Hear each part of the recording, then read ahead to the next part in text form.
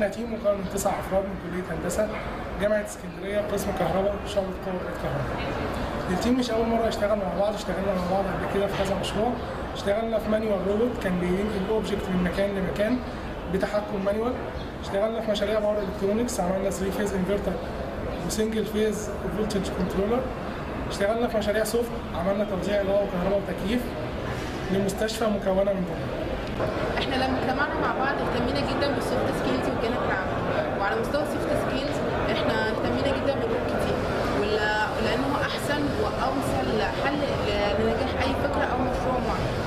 وبالنسبة ل وده وتوفر الثقة ما بيننا وال- والوضع خطط ذات أهداف والعمل على مواعيد محددة هو ده سر نجاحنا وعلى المستوى العملي في مجال ال renewable energy وخصوصا ال PV technology اللي بنركز عليه مشروع تخرجنا عملنا search ودورنا من خلال websites معينة وفيديوهات على اليوتيوب. كمان تابعنا عملنا search في IEEE تابعنا آخر أخبار ال papers في ال IEEE Explorer كمان ركزنا في دراسة ال microcontroller ركزنا على ال AVR وال open source زي ال Arduino اهتمينا بال power electronics وعملنا مشاريع زي ال single phase AC voltage controller وزي 3 phase فولتج انفرتر نقاط قوة الفريق التعاون والمرونة في قبول الآراء وإن إحنا بنتعامل مع المشروع أكتر من إنه مجرد تحصيل درجات. ومهتمين بتطوير نفسنا جدا في مكان في مجال الطاقة المتجددة ومهتمين بتطوير نفسنا في المهارات الشخصية. طبعا مسابقة صنع في مصر الهدف منها ربط مشاريع التخرج بتاع الصناعة والتجارة من خلال تنفيذ مشاريع ذات الأفكار الإبداعية فعشان كده إحنا حابين نشارك في المسابقة بحيث إن إحنا نساعد في حل مشكلة الطاقة في مصر وإن إحنا نعمل على زيادة الاستثمار في قطاع الطاقة والتجارة. طبعا بسبب أزمة الطاقة الموجودة في مصر وغلاء أسعار الوقود وإن المحطات لما بتكون موجودة في الخدمة. بتنتج مواد ملوثة بتلوث الميه والهواء.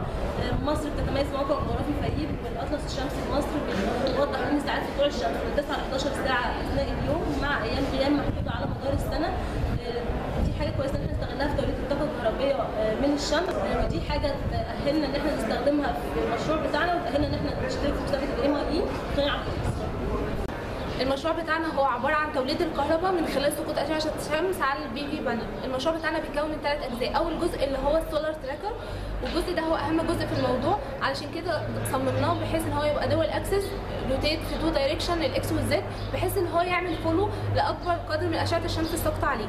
الجزء الثاني اللي هو ال charger والبط- والبطاريات عملنا له controller خاص بيه. الجزء الثالث اللي هو الانفرتر علشان أقدر أحول ال DC لل AC واقدر اوصل ال project بتاعي بالشبكة أو باي اي اي سي نود بالنسبة لل tracking استخدمنا فكرة dual axis tracking ودي أقصى ك...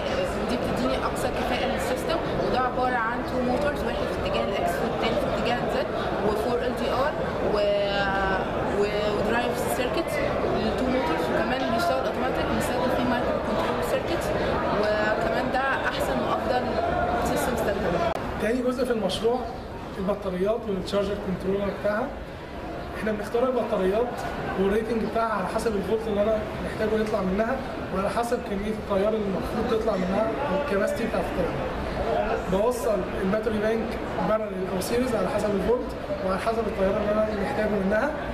بعد كده قبل البطاريات المفروض إن أنا بيبقى في مرحلة بين ال panel وبين البطاريات عشان تتشحن البطاريات.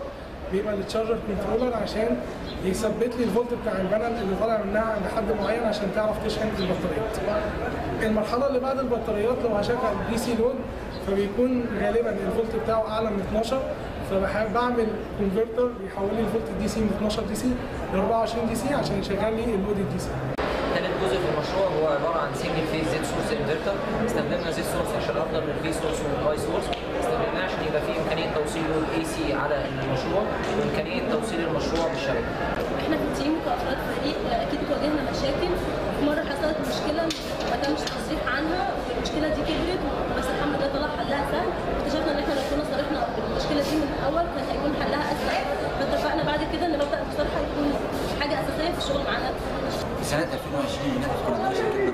تشتغل في تصميم منظومة ال PV system الكاملة في القرى السياحية والمدن السكنية وإن إحنا نحاول إن إحنا ننشر وعي الطاقة المتجددة بين الناس عن طريق الإعلام وال social media.